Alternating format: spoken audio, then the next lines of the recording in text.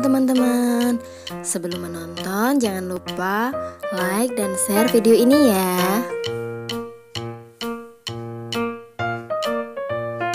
Belajar sambil bermain. Jangan lupa subscribe, bunyikan lonceng.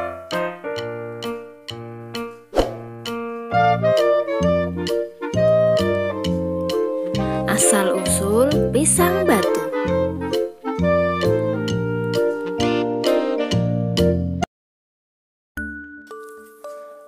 Dahulu kala di sebuah kerajaan terdapat sebuah istana. Di depan istana tersebut terdapat sebuah pohon pisang. Pohon pisang tersebut berbuah sangat banyak. Akan tetapi, tidak ada yang boleh memakan pisang tersebut kecuali anggota dari kerajaan tersebut.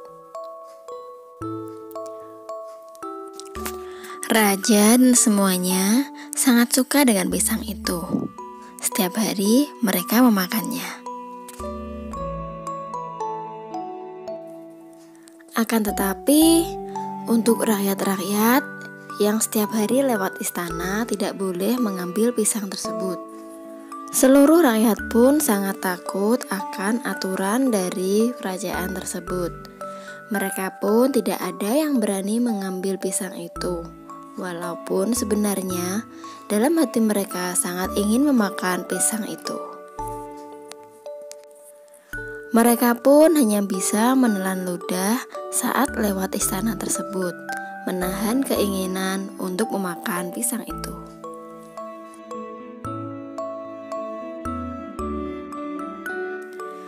Salah satu rakyat dari kerajaan itu bernama Yaman. Yaman adalah seorang dukun sakti.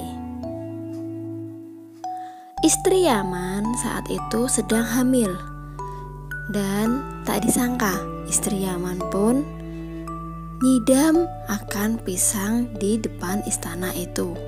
Dia pun berbicara kepada suaminya. Kakanda, sepertinya anakmu ingin sekali makan pisang di istana tersebut. Pisang? Bagaimana mungkin kita bisa mendapatkannya? Semua rakyat di sini dilarang mengambil pisang tersebut. Ayolah Kakanda, ini permintaan anakmu. Aku sedang nyidam. Yaman pun bingung akan permintaan dari istrinya. Di satu sisi, Yaman pun tak berani mengambil pisang dari istana tersebut. Akan tetapi, di sisi lainnya, istrinya sedang menyidam.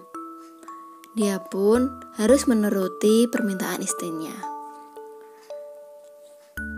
Dia pun akhirnya menghampiri raja di istana. Dia mengatakan ingin mengambil pisang tersebut.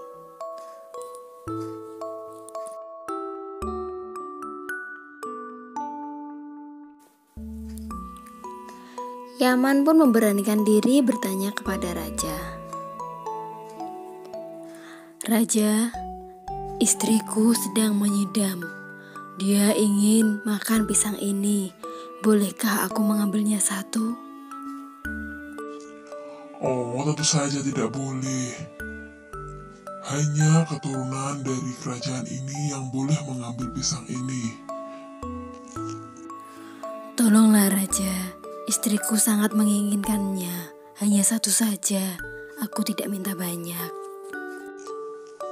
Kau ini diberitahu tidak bisa. Jangan memaksaku. Aku tidak akan memberikan pisang ini padamu. Dan jangan sampai kamu mencurinya. Karena prajurit-prajurit di kerajaan ini pasti akan menghabisimu. Yaman pun akhirnya pulang tanpa membawa pisang tersebut. Dengan perasaan yang sangat kecewa, dia pun berjalan menuju rumahnya. Istrinya pun menunggu Yaman, dan saat Yaman pulang, istrinya menyambut Yaman sangat bahagia. Dia berharap Yaman membawakan pisang dari kerajaan tersebut. Kakanda, kau sudah datang. Mana pisangnya? Dengan berat hati, Yaman pun berkata, Maafkan aku istriku, Raja tidak berkehendak untuk memberikan pisang itu padaku. Apa? Kenapa demikian? Maafkan aku. Istri Yaman pun menangis. Dia sangat kecewa. Dia pun akhirnya kembali ke kamar. Sementara Yaman pun sendirian di ruang tamu. Yaman pun sangat jengkel terhadap raja tersebut. Dia hanya meminta satu pisang tapi tak diberikan. Padahal ini keinginan istrinya yang sedang menyidam. Yaman pun akhirnya berpikir, Sungguh tega raja tersebut. Aku hanya meminta satu, tapi tidak dibolehkan.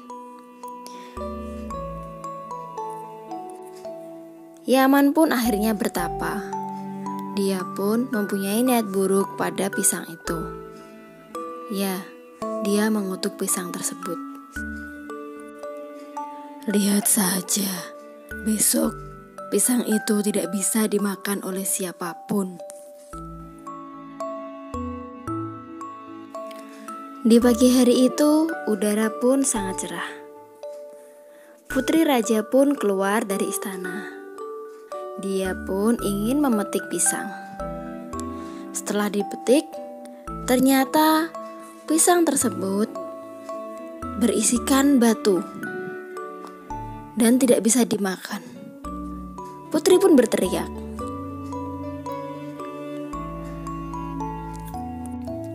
Ayah, ayah, kemarilah.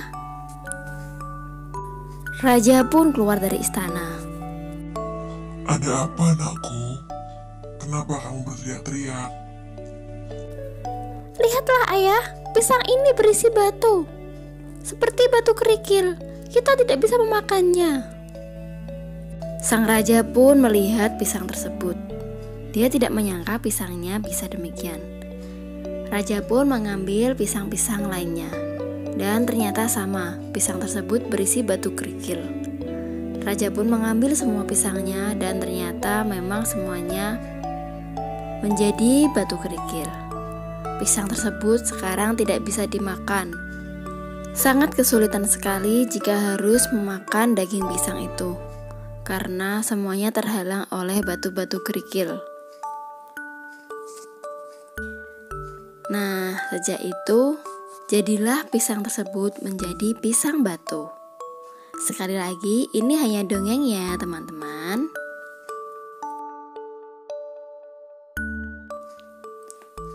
Nah, adik-adik sudah nonton dongengnya kan? Dongeng tadi mempunyai pesan moral agar kita mau berbagi kepada siapa pun yang membutuhkan.